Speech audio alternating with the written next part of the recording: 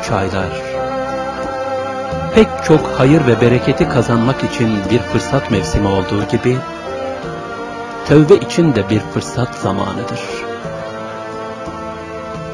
Tövbe, kişinin kendini yenilemesi ve bir iç onarımdır. Tövbe, ferdin hakkın gazabından lütfuna, hesabından rahmet ve inayetine sığınmasıdır. Tövbe, nefsin hayatı sorumsuzca sevk ve idaresine karşı, iradenin yüce dağlar gibi günahın karşısına dikilip, ona geçit vermemesidir. Günah muvazenesizce bir çukura yuvarlanıp gitmekse, tövbe, usulüne göre bir hamlede hoplayıp oradan dışarıya çıkmaktır. İşte bu çıkış ve ruhun yükselişi için üç aylar fırsat aylarıdır. İnsanın beden insanı olmaktan kurtulup, kalp ve ruh insanı olması için bir rampadır. Rahmeti sonsuzun bize, tövbe edip kendisine yönelmemiz için ekstra imkan tanıdığı kurtuluş aylarıdır. Zamanın bu altın dilimleri, bu fırsat ve ganimet günleri kaçırılmamalıdır. Peygamber Efendimiz Recep ayı gelince şöyle dua ederdi. Allah'ım Recep ve Şaban ayını bize mübarek kıl. Bizi Ramazan ayına ulaştır.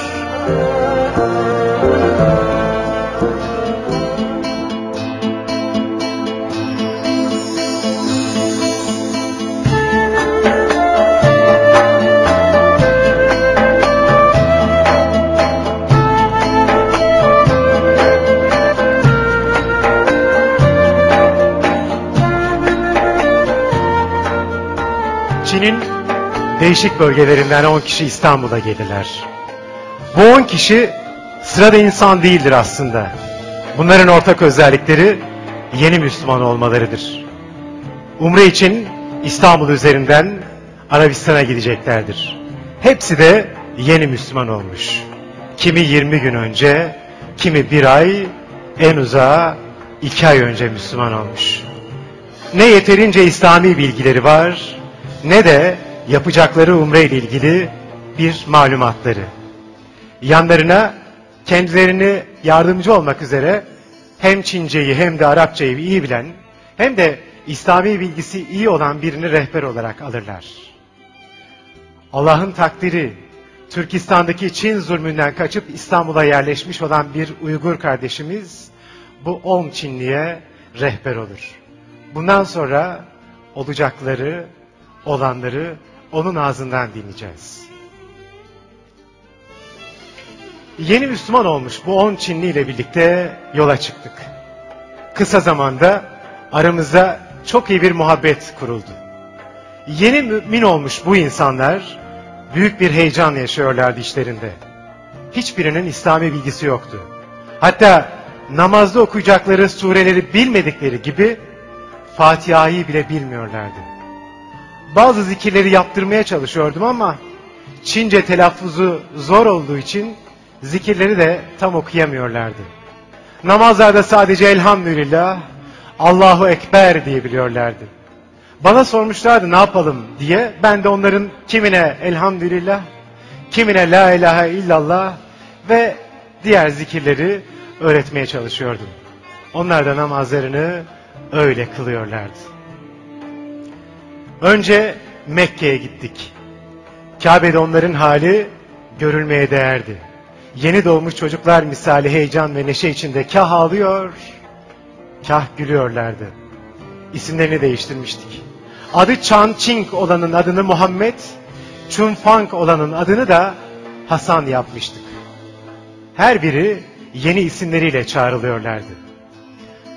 Ama on Çinli kardeşimizden biri olan Muhammed'de bir farklılık, bir başkalık vardı. Bu durum dikkatimi çekmişti. Her namazını gözleri yaşla eda ediyordu. İyice dikkat ettim. Evet, Muhammed namazlarında gözyaşı döküyor, ağlıyordu. Bana da sürekli sorular soruyor, İslamiyet hakkında bilgi alıyorlardı. Ben de bildiğim kadarıyla onlara cevap vermeye çalışıyordum. Muhammed kardeşimiz bir gün içki nedir? İçkiye dinimiz nasıl bakar diye sordu. Rabbimiz dedim içkiyi kesin olarak yasaklamıştır. İçilmesi, yapılması, taşınması, satılması yasaktır.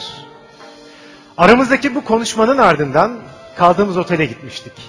Muhammed bir telefon edeceğini söyledi ve ona memleketine telefon et- etme imkanı sağladık. Çin'deki kardeşini aradı. Kardeşine aynen şunları söyledi. İçki fabrikamızı hemen kapat. Çünkü Allah öyle emretmiş. Bize de bu emre uymak düşer. Bu sözler üzerine kardeşi bunu yapamayacağını, birçok bağlantılarının olduğunu, durup dururken kapatırlarsa yüz binlerce dolar zarar edeceklerini, hiç olmazsa kendisine biraz zaman tanımasını söyler. Ama Muhammed kararlıdır. Allah emretmiş, bize uymak düşer. Fabrikayı hemen kapat, ben gelince borçları hallederim, içki fabrikası kapanıyor. Mekke'deki ziyaretimizi bitirip Medine'ye gittik. Efendimizin burası cennet bahçesidir buyurduğu yerde sabah namazının farzını eda ediyoruz. Muhammed benim yanı başımda. Diğer Çinli kardeşlerimizle aynı saftayız. İlk secdeye varıyoruz, secdeden kalkıyoruz. İkinci secdeye varıyoruz, sonra kıyama kalkıyoruz ama o da ne? Muhammed hala secdede, kalkmıyor. Tekrar secde ediyoruz, tahiyyatı okuyoruz, selam veriyoruz ama Muhammed hala secdede. Düşünüyorum ki yorgunluktan ve uykusuzluktan bazen insana böyle ağırlık çöker. Muhammed'e de secdede böyle bir şey oldu. Yorgunluktan uyuyup kalıverdi. Elimi uzatıyorum. Omuzuna dokunup hafifçe çekeyim diyorum ama dokunmamla birlikte sağ tarafının üzerine yuvarlanı veriyor Muhammed. Muhammed'in ölmüş olabileceğini düşünüyorum. Olay duyuluyor tabii. Görevliler müdahalede bulunuyorlar. Dışarı çıkarıyorlar Muhammed'i bir ambulansa koyarak hastaneye götürüyorlar. Biz de gidiyoruz ardından. Hastanedeki ilk muayenede çoktan vefat ettiğini söylüyorlar Muhammed'in. Hastanenin morguna kaldırıyoruz. Çinli kardeşlerimle birlikte hastanenin önünde ne yapacağımızı bilemez bir halde üzüntü içinde bekleşiyoruz. O sırada bir arabayla makam sahibi, mevki sahibi olduğu belli bir zat geliyor. Herkes onu hürmetle karşılıyor. Sonradan da öğreniyoruz ki bu zat Medine'nin ileri gelenlerinden, yöneticilerinden birisi. Telaşlı bir şekilde hastane yetkililerine dönüyor. Bugün diyor burada ölen bir Çinli var mı? Evet diyor yetkililer. Dün gece Efendimiz sallallahu aleyhi ve sellem rüyamda bana göründü ve buyurdular ki yarın burada bir Çinli kardeşimiz vefat edecek.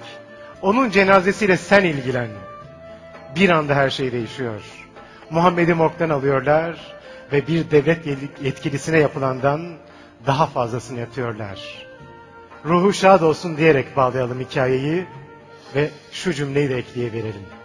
Rağbet göstermeden regaipleşilemez. Kendisine de rağbet edilemez.